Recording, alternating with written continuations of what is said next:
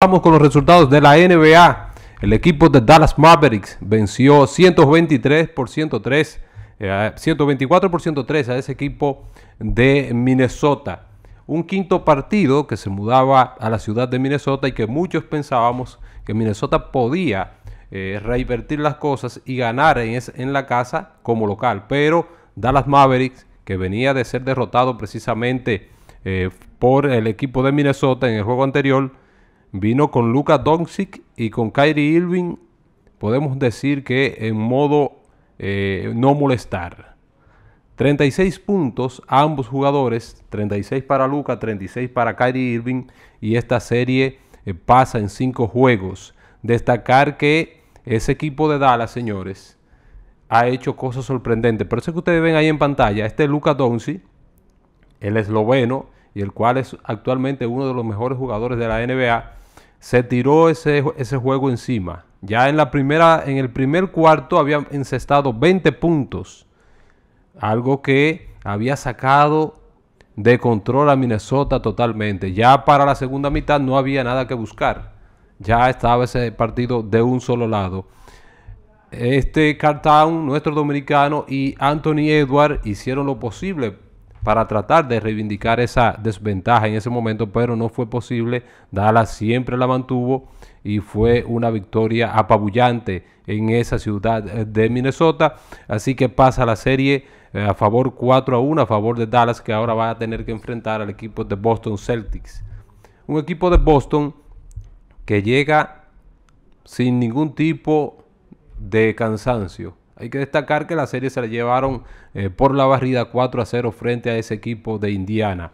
Un equipo de Boston que ligeramente en esta serie pudiera ser el favorito frente a un equipo de la oeste como Dallas, un equipo eh, que si comparando los nombres son relativamente parecidos con las principales figuras, pero que ligeramente luce favorito Boston Celtics. Muchos dicen que este es el año verde que es el año de Boston Celtics, pero va a chocar con un muro como Lucas Doncic y como Kyrie Irving, que ya precisamente estuvo en esa franquicia de los Celtics de Boston.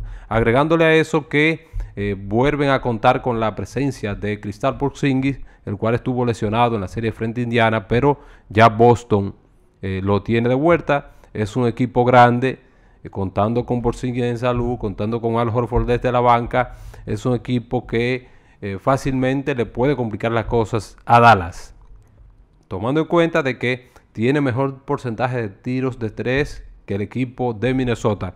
Ahora, ¿qué podría pasar con Minnesota en lo adelante? ¿Va a seguir esa estructura que tiene Minnesota en los próximos años? Destacar que desde mi punto de vista, eh, Minnesota no fue una decepción. Al contrario, Minnesota llegó más lejos de lo que muchos pensábamos que podía llegar. Ganarle a Denver, pero no solamente ganarle a Denver.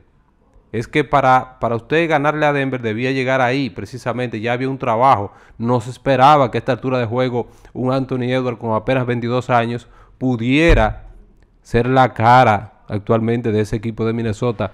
Pero no la cara como, como que lo tengo ahí. No, no, no, no. Es que se ha ganado a puro corazón a los 22 años ser la cara de ese equipo, desplazando precisamente a Cartown, que en su momento, eh, que creo que todavía sigue siendo una de las caras principales de ese equipo. Eh, independientemente de que cómo estuvo en los playoffs Cartown, que para mí quedó a deber, independientemente de eso, sigue siendo una de las caras. Entonces, lo que le espera a Minnesota, si continúa ese trío junto, Gobert, Edward y Cartown, vamos a esperar buenas cosas porque ya demostraron y ya tocaron la puerta y le dejaron saber a toda la NBA que con ellos en lo adelante de continuar juntos y en salud deben contar.